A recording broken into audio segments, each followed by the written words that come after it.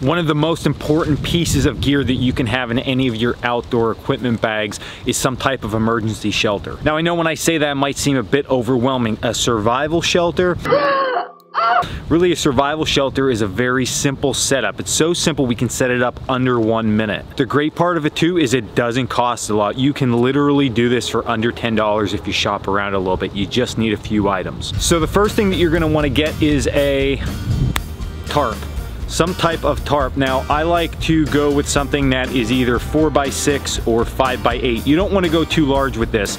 You can get these tarps at any retail shop. Just look around. The cheap blue ones will do just fine. The next item that you're going to need is paracord. About 50 foot of paracord is going to work perfectly for this. Go with a brighter color. It's going to just make life a little bit easier. And then lastly, you're going to want some type of tent pegs. Tent pegs are gonna be important for this. Four tent pegs is more than enough. At this point, we have all the components we need to set up our shelter. So we're gonna lay this out, but first we're gonna need to find a campsite or an emergency situation. A campsite might be better. This should work pretty good right here, I think. But before we do anything, we need to prep this tarp. Prepping the tarp is an easy process. The first thing that we're going to do is take our paracord. You're going to need to cut four one foot sections of paracord and place them off to the side. Next, you're going to need two 15 foot sections of paracord. It can be a little bit longer or a little bit shorter, but 15 feet works best. Next, lay out your tarp. Identify the length of the tarp, meaning the longest part of it. On each of the two corners along that length, we are going to run our paracord through the grommets. Once the paracord is through, we can just place a simple overhand knot onto the paracord closely to the grommet.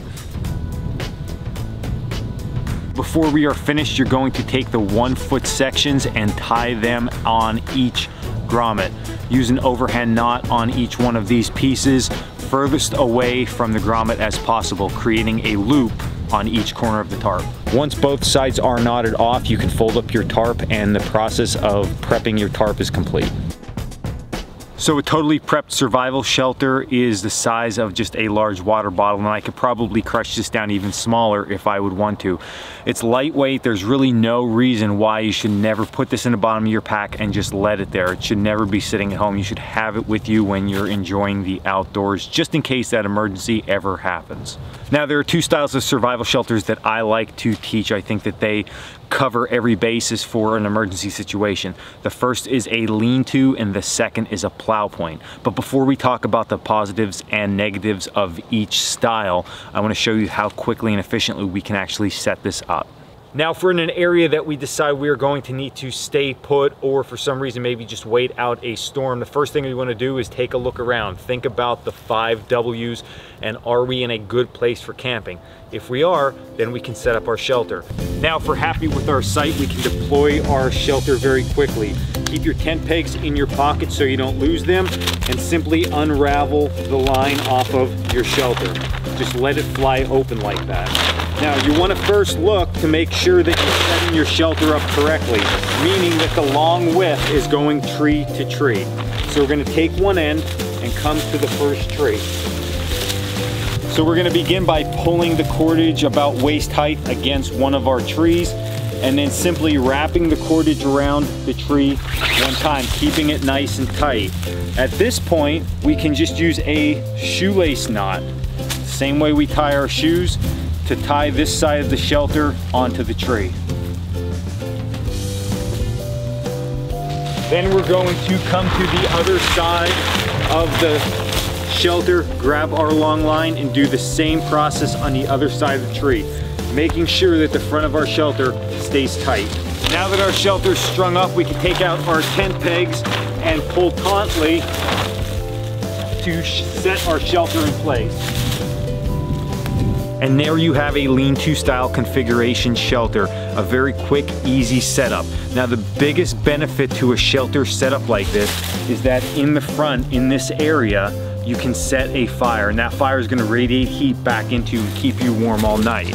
The biggest drawbacks though that I find with these types of shelters are that individuals are just uncomfortable being that exposed to the elements. They feel as if the shelter's not protecting them enough. Also, if the individual is not experienced enough and doesn't take wind into consideration, this shelter can actually work as a wind stop and just catch all the wind coming into you. So it's very important you take that into consideration. Now the next style of shelter is called a plow point configuration and this begins the same way. We set the first side of our tarp up against a tree. Waist height is always a good starting point. From that point then we grab the corner opposite of our tie out and this is where the loops come into play. It allows us to put our tent peg in there and pull this straight back. Tighten that down into the ground. And then we come out to each side and open this shelter up, creating a plow style configuration.